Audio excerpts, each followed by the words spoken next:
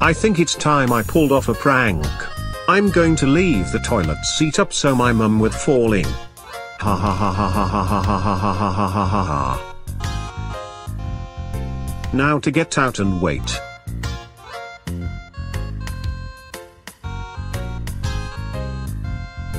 What the? Now.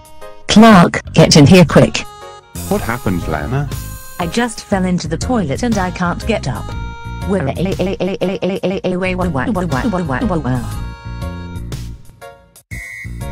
Clyde. Get in the bathroom right now. I need to talk with you. Is there a problem, Dad? Why is Mom hogging up the toilet? You did this, Clyde? How could you? I can't even use the toilet without falling in. Did you really put the toilet seat up? To tell you the truth, yes, I put the toilet seat up on purpose because it was supposed to be a prank. Well, it doesn't look like a prank to me, Clyde. When you are done using the bathroom, leave the seat down. We've been through this countless times. I'm really sorry, Dad. No, you are not. Because you aren't getting the message. What if something else happened to her? Start listening to me, Clyde Hansen. That's it. You're so grounded for 12 years. Go to your room now while I call a plumber and an ambulance.